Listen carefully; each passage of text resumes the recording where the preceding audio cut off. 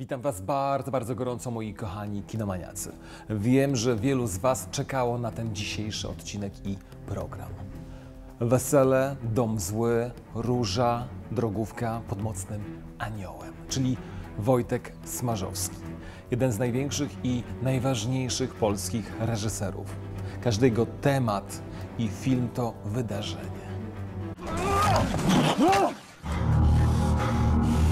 Dla mnie, tak osobiście, filmy Smarzowskiego są jak, jak rwanie chorego zęba.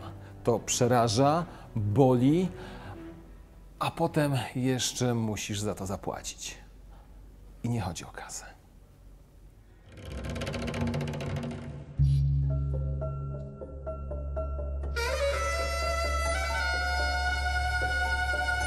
Na chwilę chciałem do wychodka.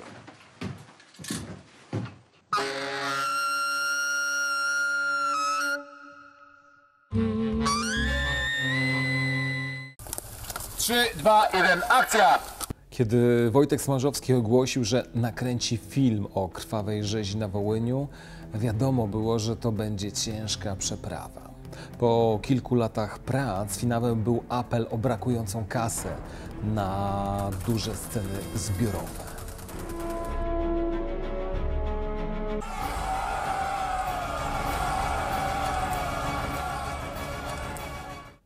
Ale film na szczęście powstał i za chwilę do Was trafi. Tak jak trafił do mnie. Porażająco.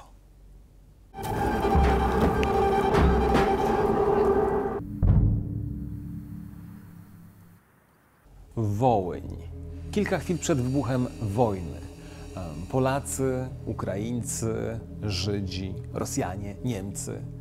Grożący od lat wybuchem tygiel.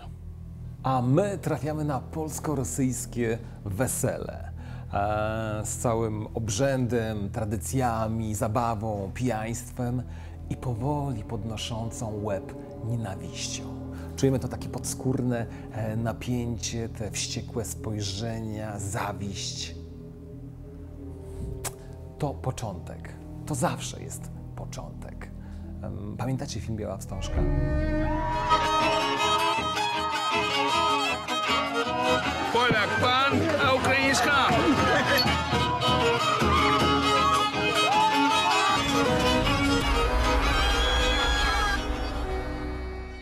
A w tym wszystkim poznajemy zakochaną Zosię.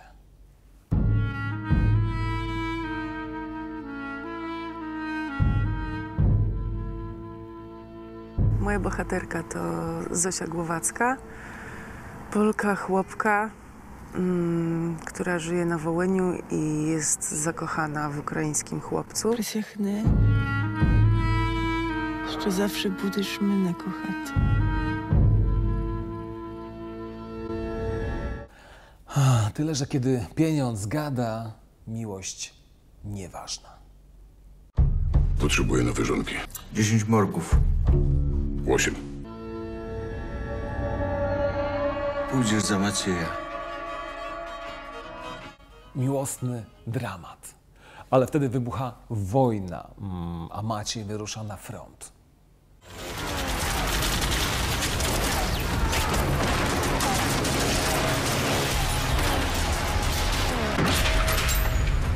frontu! Dezerter. Znaczy swój? Przegrana wojna zmienia wszystko. Ukraińcy witają wódką i chlebem kolejnych zdobywców. Najpierw Rosjan, potem Niemców. Polacy na Wołyniu stają się elementem wywrotowym, złym, zbędnym. Te niby ruskie partyzany rozmawiali po ukraińsku. A potem ich siekierami, nożami. Wszystkich ich wyzabijali. a pacierzem dla Ukraińców staje się nowe 10 przykazań. Dekalog ukraińskiego nacjonalisty. Dekalog napisany przez Stepana Łękawskiego. Przykazanie siódme. Nie zawahasz się popełnić największej zbrodni, kiedy tego wymaga dobro sprawy. Znajome,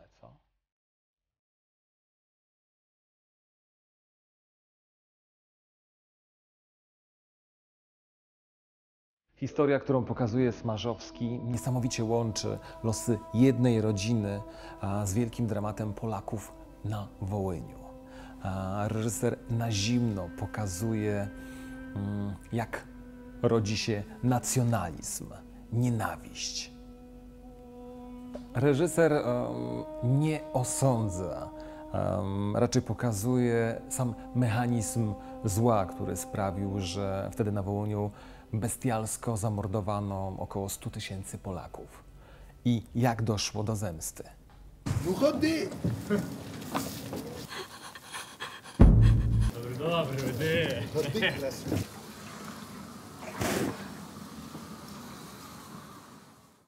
Nie będę Wam już e, dalej opowiadał e, fabuły, opowiadał o kolejnych scenach, e, przestrzegał przed krwawym, okrutnym finałem, bo to wszystko, cały ten film jest e, jedną wielką, ponad dwugodzinną, porażającą całością. E, czymś bardzo spójnym, aż do samego końca, aż do tej orgii e, zła, gwałtu i krwi realizacyjnie jest to niesamowite.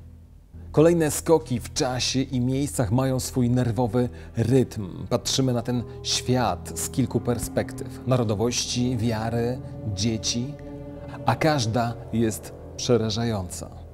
Scenariusz, niesamowita reżyseria, zdjęcia, montaż, w ogóle cała dramaturgia tego filmu, który trzyma za gardło od pierwszej do ostatniej sekundy. To wszystko podbija fenomenalnie a, ten film. Aktorsko powiem Wam, że jakby nie widziałem tych znakomitych aktorów. Widziałem tylko a, ludzi z dalekiego i obcego dla mnie Wołynia. To chyba największy dla nich komplement. I siedząc w kinie, e, siedząc na krawędzi fotela, e, widziałem i czułem po prostu to, jak rodzi się wrogość, nienawiść, zło. Am, sąsiedzi, znajomi, przyjaciele. Napadli na nas w nocy po Józwie. Utoczyli wioskę. W przód szli bandery, a za nimi Ukraińcy.